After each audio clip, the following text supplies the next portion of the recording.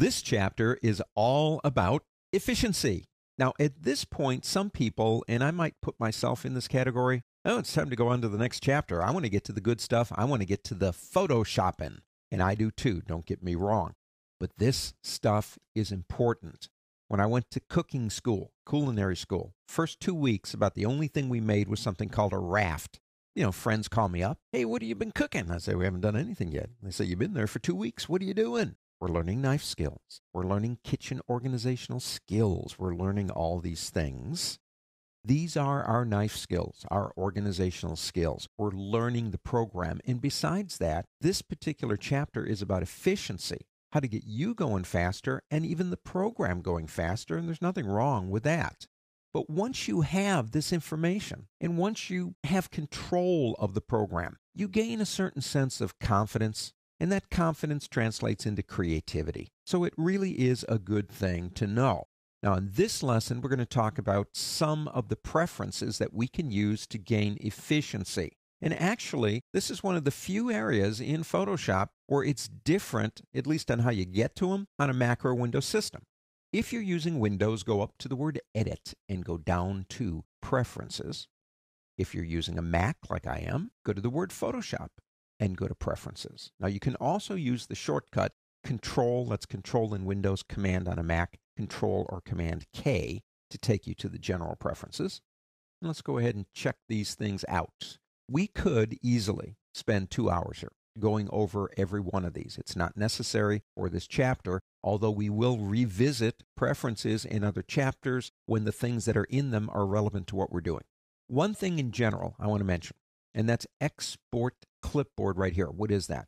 Well, if you use it or if you leave it on, that's the default. Basically, when you close Photoshop down, any copied material in your clipboard that you've been copying and pasting in Photoshop, and we do copy paste in Photoshop, stays in the clipboard. To what end? Well, maybe you're going to open up another application like Illustrator, maybe, I don't know, InDesign, Microsoft Word, and you're going to paste it in there.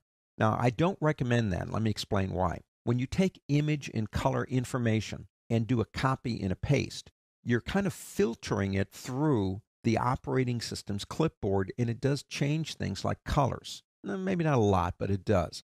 If I'm planning on moving some physical image in Photoshop into another program, rather than copying and pasting, I would save it as a PSD or a JPEG or something and open that actual document so I turn this one off. And the reason I do is because when it's off, it purges the clipboard when Photoshop's done, and you're not clogging up and slowing down your computer with information you really don't want to use anyway.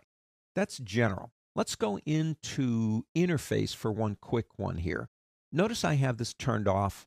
Now that's turned on by default. They're tool tips. The tips come up, you've seen it. When you hover over a tool or something, it tells you a little bit about it. The reason I don't like those for teaching is because sometimes they get in the way, and I don't want them getting in the way of what we're trying to talk about. The other thing is, is once you become familiar with the program in a sense, they kind of get in the way anyway for you. Okay, so you want to watch that. I'll mention one other thing really quick. This is more aesthetics than efficiency, but they have really done some cool changes at Adobe on how we view things. For example, you've got these buttons up here to change the background. I like it darker because it takes the emphasis off of the interface and onto what you're trying to do. Down here, you can even now change things like the text that's inside of the panels and the menus by changing it right in here. That's pretty cool. You will have to restart to see those changes activated. Now let's go into performance. This is kind of where I want to be anyway. Memory usage is RAM memory. All computers have some RAM on them, some have more than others. Photoshop is a very RAM intensive program. Let me move this a little bit over here for a second.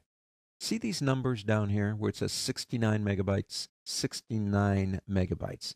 That is the operational size of the image, the one on the right, that number. What I need to know is do I have that much RAM memory times about 5 to 8? And I do. I have more than enough RAM memory to make this thing work. But you have a slider down here. So, in order for the program to get efficient, it needs, according to most studies, not all of them, but most of them say five to eight times that number. So, if you routinely work on images that are 69.9 megabytes, then this number in here needs to be that number times 5 to 8. If it isn't, you could try moving this right here, left or right, to either add or subtract memory. I would not recommend slamming that all the way to 100%. Photoshop doesn't play well with others. Let's put it that way. What it does is it doesn't share. And if you crank that to 100%, you might start getting more efficient, which is cool. But in the end, what's going to happen is something else is going to need RAM, like your operating system or another open program, and Photoshop won't share the information, and it's either going to slow you down or even lock you up. So it's not something I'd recommend you do. The other one I want to mention is this one down here called Scratch Disks. In Scratch Disk, basically, these are other hard drives that I have attached to my computer.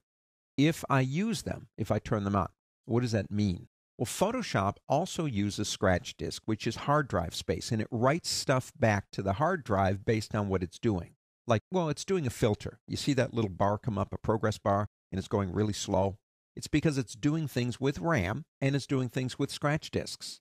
But you're only using, by default, your main drive. And that thing's got a lot of stuff going on. You've got your operating system, you've got your programs, everything is being read write, read write, read write off that one drive. If you install others, you may already have some anyway, but if you install other hard drives and they're fast hard drives and you click these buttons, basically what you're saying is divide the load.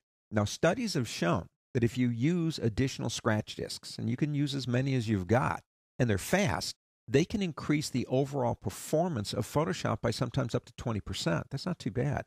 Now, the other one over here is history states. Histories is undos. I love undos. It's my favorite thing on the entire planet. If life had an undo button, this would be a great world to live in. History states can go all the way up to a thousand. You say, whoa, man, if I put that at a thousand, I'll never have a problem. I'll always be able to undo something that I did earlier. I mean, a thousand, that's great. Okay, I agree. That is great. However, understand if you do that and crank it to a thousand, what's going to happen is so much processing memory, time, RAM, all the stuff is going to come together just to hold those undo states for you that you're going to wind up really slowing yourself down.